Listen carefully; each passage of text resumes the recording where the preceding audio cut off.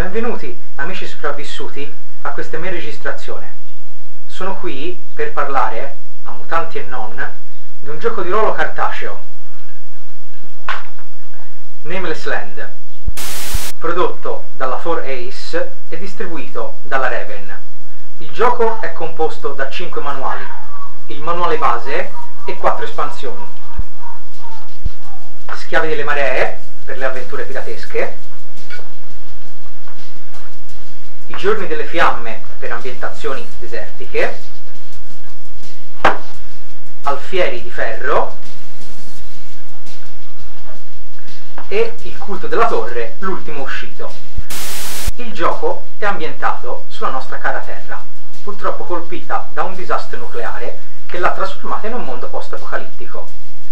A rendere la storia più interessante, oltre che ovviamente mutanti e radiazioni, abbiamo malvagie biomacchine sopravvissute all'Apocalisse, eh, straordinari poteri paranormali chiamati dominazioni, che sono i doni di questo nuovo mondo, terribili signori della guerra e una misteriosa società segreta che sembra essere la causa di tutto il disastro.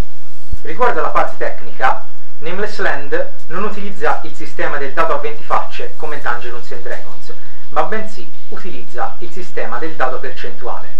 Quindi avremo una percentuale che non dobbiamo superare per qualsiasi nostro test.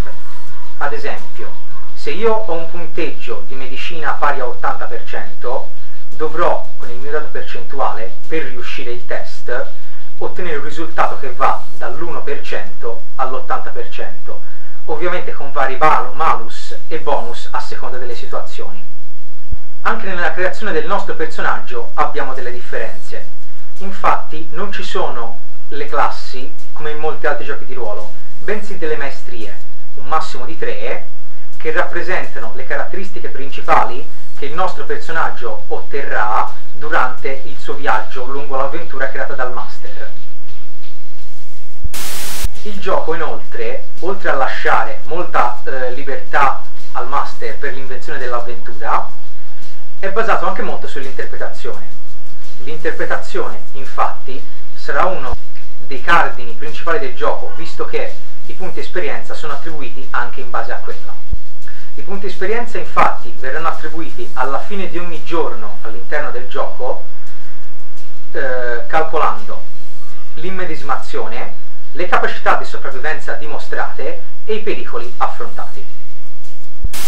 Io sono arrivato alla fine di questa mia registrazione, non posso fare altro che ringraziarvi e consigliare di giocare a questo fantastico, almeno secondo me, gioco di ruolo.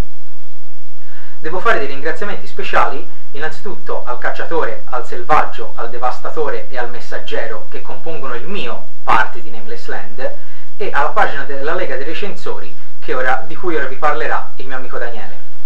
Francesco De Like chiudo. La Lega dei Recensori è un progetto nato dalla collaborazione di otto canali YouTube, tra quali il nostro, accomunati appunto dalla voglia di recensire.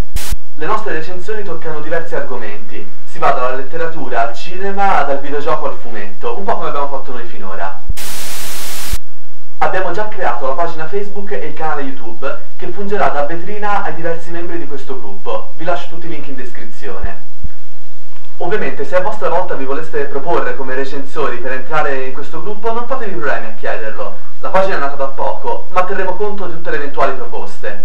Spero che questo nostro format eh, sperimentale vi sia piaciuto, probabilmente faremo altri video di questo genere in futuro. Detto questo, iscrivetevi al canale se il video vi è piaciuto, passate dalla Lega dei Recensori e dal suo canale YouTube. Daniele The Like It, chiudo.